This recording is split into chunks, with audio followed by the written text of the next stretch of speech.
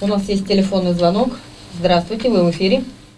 В эфире и СГК, традиционно для отопительного сезона. Вопросы поступали в радиорубку и социальные сети, где транслировался эфир. Например, барнаульцев интересовало, почему в разных комнатах одной квартиры температура может отличаться и что с этим делать.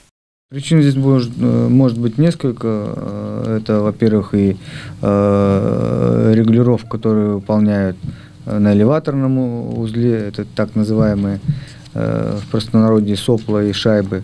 Это могут быть э, отопительные приборы в квартире, э, ну, скажем так, забитые, не новые. Все, все эти факторы в конце концов могут сказываться на разности температур в квартирах. Жаловаться на эту проблему, говорит Гросс, можно и самим энергетикам, и в управляющую компанию. Другая тема, которую затронули в ходе трансляции, тоже связана с температурой. В частности, с избытком подачи тепла при повышении температуры за окном и недостатком при резких похолоданиях. Советуем рассматривать вопрос э, об установке погодозависимой автоматики на домах. Это позволяет в автоматическом режиме внутри дома производить регулировку под температуру наружного воздуха.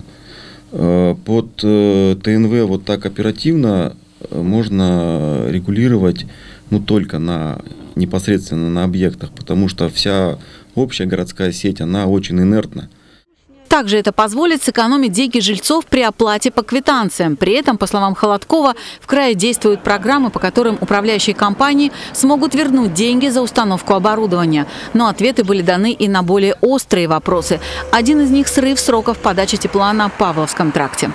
Но 23 э, сентября было обнаружено повреждение тепловой сети диаметром 150 миллиметров. В связи с тем, что сеть э, достаточно глубоко расположена и э, большой участок пришлось менять, 21 метр, э, запустить повторно удалось только 25 сентября.